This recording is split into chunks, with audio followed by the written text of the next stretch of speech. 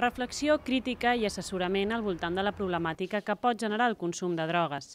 Des d'un punt de vista preventiu, la Tèxtil Racer acull l'exposició Controles, elaborada i cedida per la Diputació de Barcelona i adreçada especialment al públic adolescent. L'exposició ofereix d'una banda informació gràfica sobre el tabac, l'alcohol i el cànnabis i sobre com afecten les drogues al nostre cervell però també ofereix assessorament personal amb possibilitat de concertar visites guiades per a grups de joves, famílies o professionals.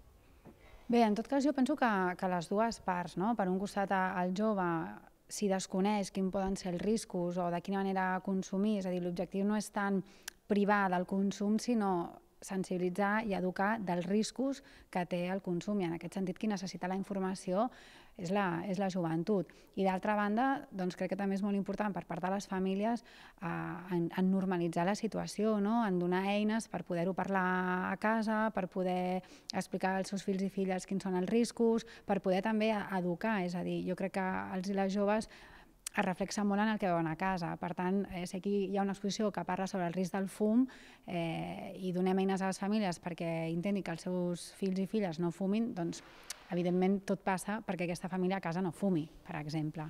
L'alumnat de tercer d'ESO dels tres instituts de Cardedeu farà una visita guiada a l'exposició i un taller posterior a l'aula que es desenvoluparà a partir de les inquietuds dels propis alumnes.